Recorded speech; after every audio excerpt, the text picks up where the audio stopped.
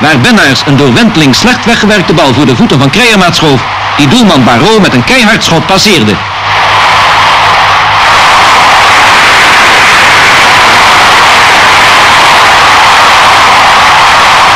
De Fransen waren er stil van en ze bleven dat ook na de rust, toen ze zagen hoe ook de meest hardnekkige pogingen van Rijms om de stand in evenwicht te brengen, stranden op de vastberadenheid van Pieter Schraafland en zijn mannen. Het was voor Rijms onbegonnen werk. De beroemde Coppa kon dribbelen wat hij wou. Altijd was er wel een Feyenoord-speler die de weg naar het doel blokkeerde. Tegen het einde van de wedstrijd ontsnapte Rijms zelfs nog aan een tweede doelpunt toen Van der Gijp tegen de lat kopte. Het bleef 1-0 voor Feyenoord, dat nu met één been in de halve finale staat. 2000 schorre Rotterdammers hebben dat s'avonds en s'nachts duidelijk aan Parijs laten weten.